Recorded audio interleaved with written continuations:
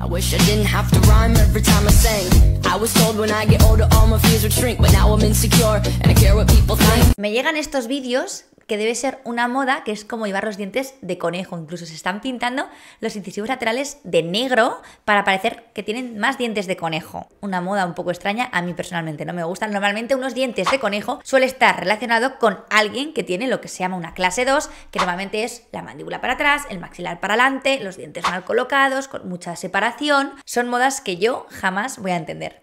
Pero si tú tienes dientes de conejo, quiero que sepas que son los ortodoncistas los que te lo van a poder solucionar.